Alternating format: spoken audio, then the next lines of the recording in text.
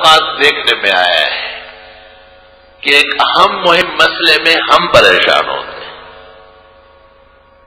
بہت زیادہ۔ پریشانیاں بڑھ رہی ہے کم نہیں ہو رہی ہے کیونکہ پریشانی دور کرنے کی دو صلاحیتیں ہیں۔ ایک اللہ تعالی کی مدد و نصرت کے آدمی کے ساتھ ہو۔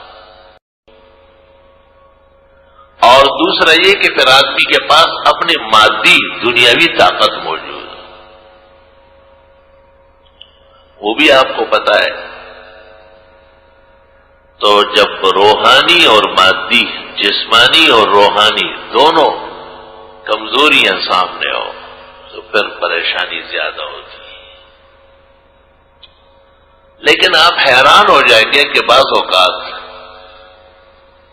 پریشانیوں کا جواب یکدم قرآن مجید میں آ جاتا ہے۔ اس زمن میں یہ درخواست بھی ضروری ہے کہ قرآن بہت زیادہ پڑھنا پڑے گا۔ بہت زیادہ۔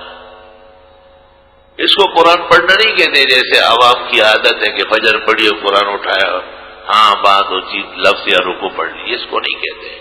ہم وقت چوبیس گھنٹے ذہن اور دماغ میں قرآن ہو۔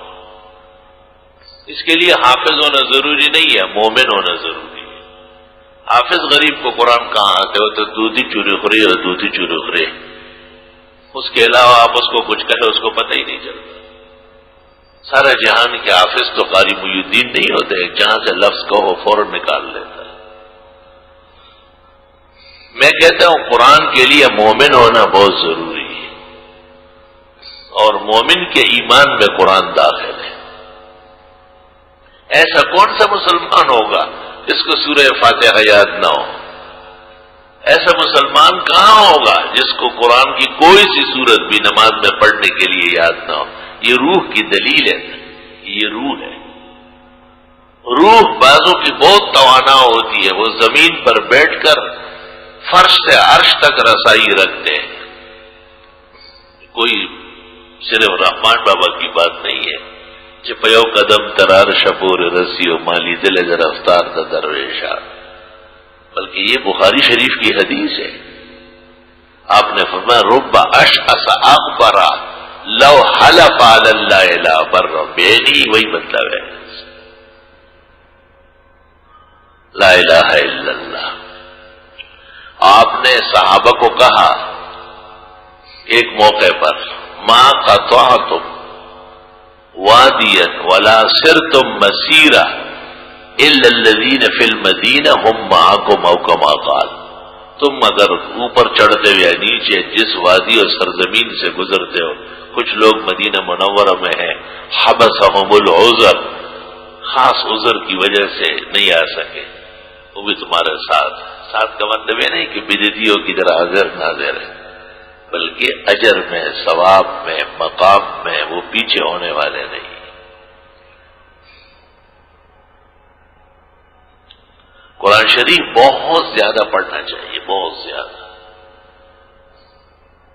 میں نے کتابوں میں دیکھا ہے کہ بغیر سوچے، سمجھے جو قرآن پڑھے، بالکل کچھ بھی نہ سمجھے، وہی دوتی چوری وہ ایک حرف کی دس نہیں کیا ہے۔ اور اگر سمجھنے لگے تو ایک سمجھ عوام کی ہے، کوئی ترجمہ و تفسیر عالم دین کا دیکھ کے اس کو سمجھ لیتے ہیں۔ تو کہتے ہیں، پچیس سے پچاس تک نیکیاں ہوتی ہے اور ایک عالم دین ہے جو ایک فکر اور تدبر کے ساتھ قرآن جانتا ہے۔ پانچ سو سے لے کے پانچ ہزار تک نیکیاں پیدا ہوتی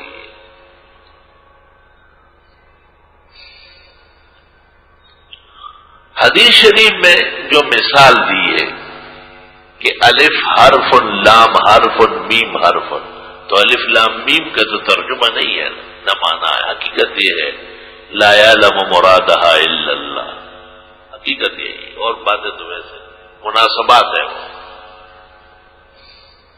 مناسبت اور چیز ہوتی ہے، وہ ہر عالم کی اپنی سوچ فکر ہے۔